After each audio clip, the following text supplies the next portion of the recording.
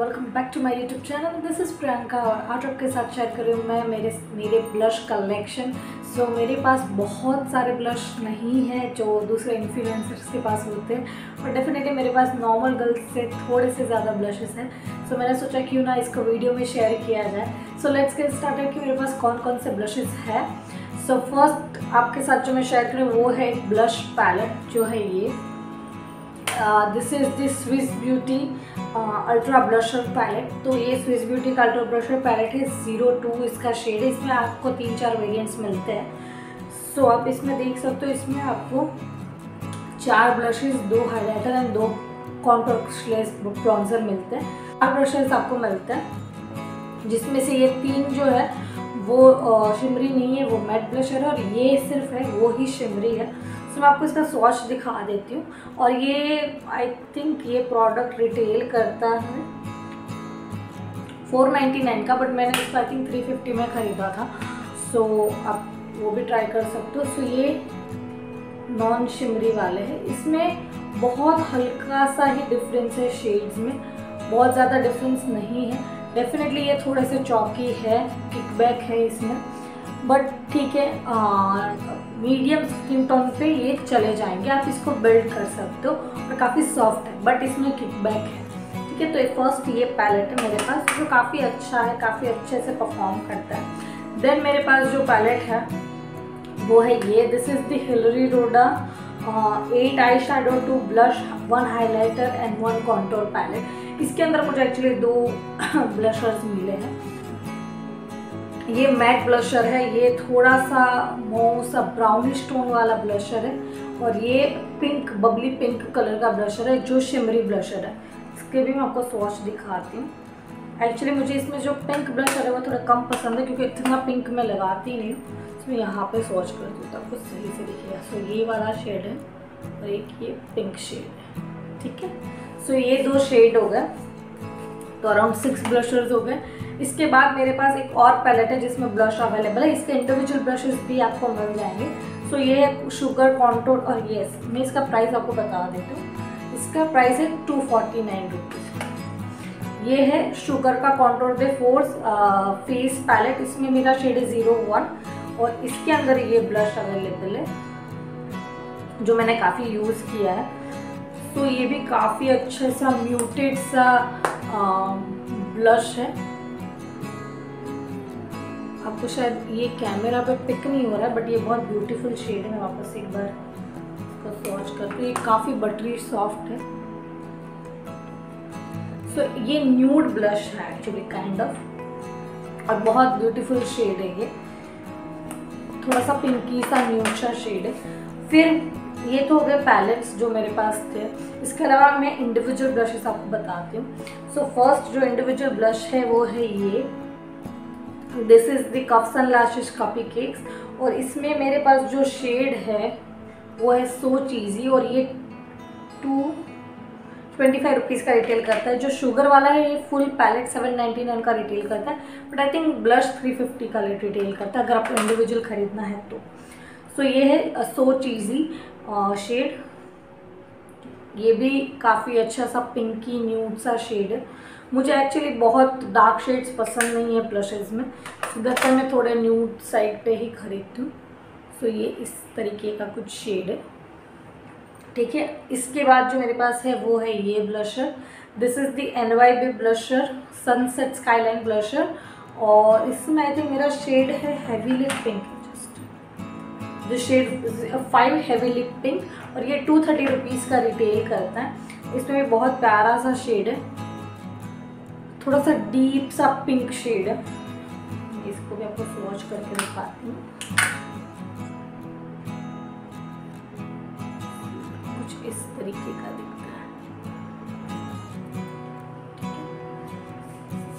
Then after मेरा जो blush है, जो मोस्ट फेवरेट ब्लश और जो मैंने बहुत यूज़ किया मैं अभी भी यूज़ करती हूँ, वो है ये।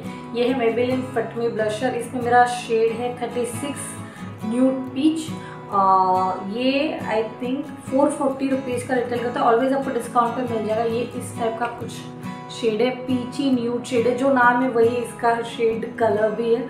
और ये इतना प्यारा शेड है और ये मैट ब्लशर है। ये एक्चुअली हैंड स्वॉच पे दिख नहीं रहा है बट ये फेस पे बहुत अच्छे से दिखता है बहुत अच्छे से पॉप होके दिखता है। तो ये बहुत ब्यूटीफुल शेड है मुझे बहुत पसंद है। सो so, एक तो ये होगा उसके बाद आई हैव अनदर ब्रश जो है स्विस ब्यूटी से। ये मुझे फ्री में मिला था मैंने परचेज नहीं किया था। ये है स्विस ब्यूटी का ग्रेडियंट बेक्ड ब्लशर ये आप या तो as a blush topper use कर सकते हो या इसको एज अ हाईलाइटर यूज़ कर सकते हो। अदरवाइज़ ये कहीं से भी ब्लशर नहीं है, क्योंकि काफ़ी शिमरी सा है। आप इसको नीचे वाले शेड्स को लेके as a blush topper use कर सकते हो। वॉच करके दिखाती हूँ।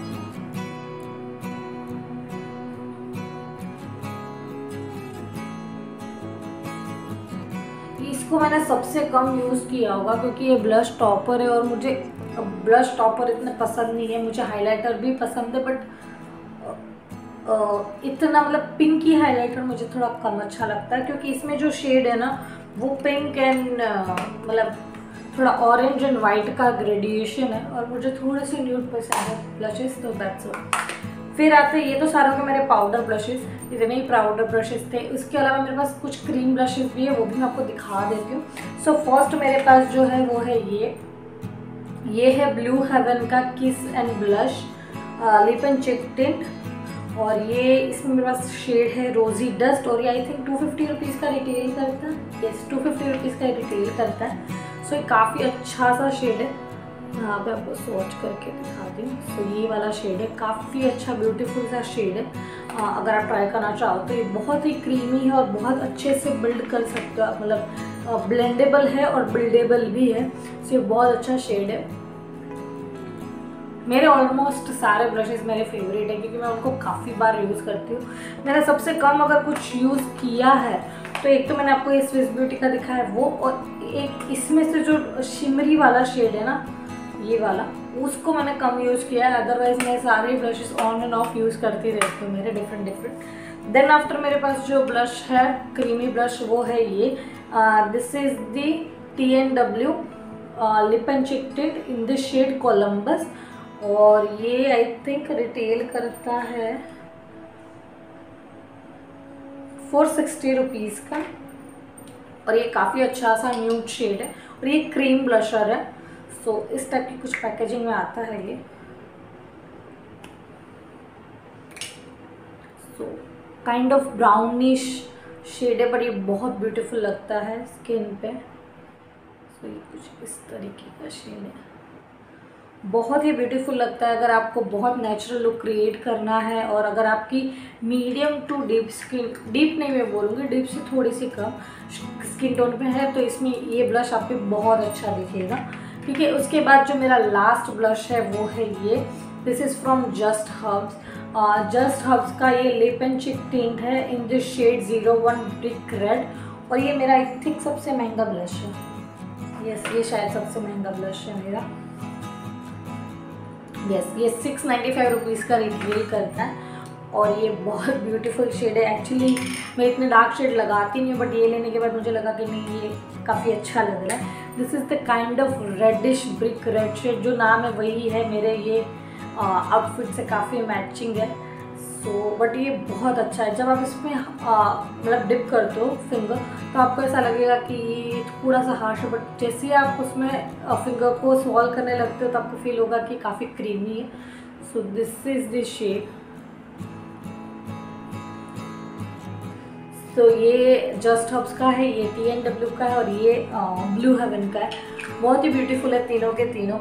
सो so, ये होगा ये हो गए मेरे blush collection hope you all like this video if yes then please subscribe to my YouTube channel Priyanka Vora Trivedi और सब्सक्राइब के बाजू में जो बेल बटन है, उसको भी क्लिक कर दीजिएगा ताकि मेरे वीडियोज़ की नोटिफिकेशन आप तक पहुँच पाए. Thank you for watching